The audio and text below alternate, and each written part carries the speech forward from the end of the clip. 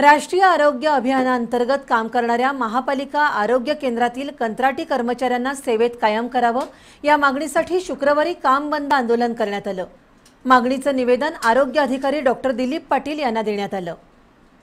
कोल्हापूर महानगरपालिकेच्या आरोग्य केंद्राकडं राष्ट्रीय आरोग्य अभियानात काम करणाऱ्या कंत्राटी कामगारांनी आपल्या विविध मागण्यांसाठी शुक्रवारी आंदोलन केलं.